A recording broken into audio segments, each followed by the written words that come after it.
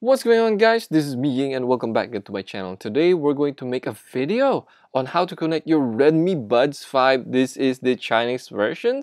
So how did I know the Chinese versions? Because as you can see, when you try to open up your Redmi Buds 5, there is no any wordings there and it's actually from China. So if you guys visit China, you might get confused on how to connect your Redmi Buds 5 into your apps. Okay, so simply get this uh, Buds 5 um, documentation and you can see the QR code here. Um, anyway, if you have thrown your manual, so this is the app. So all we need to do is to scan it. All right. So uh, let's try to scan it. And once you scan it, you can see the uh, how to download your APK file. So in China, they don't use Google.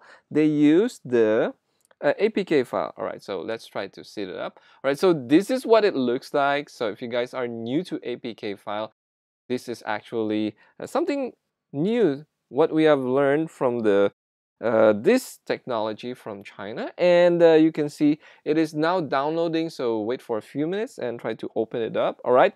Now after that uh, the APK file is having the installer. So I'll quickly install that one. All right. So let's wait for the um, apps to install it. All right. So once it is complete let's try to open it up. All right so this is the most challenging part because we are going to set up our earbuds right? So all we need to do is try to open first the Bluetooth. Okay so my Bluetooth is already open and uh, try to open yours also. So add the earphone.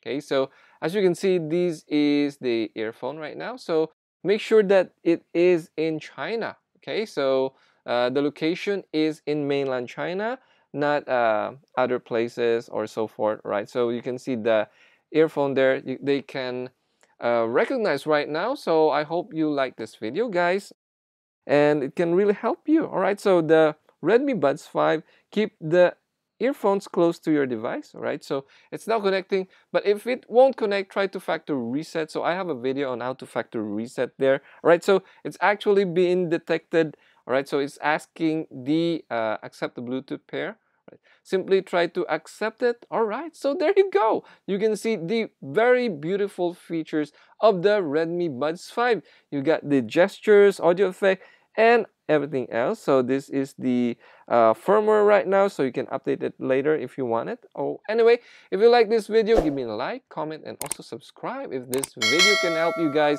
And see you in my next tutorial of the connecting of the earbuds. Bye!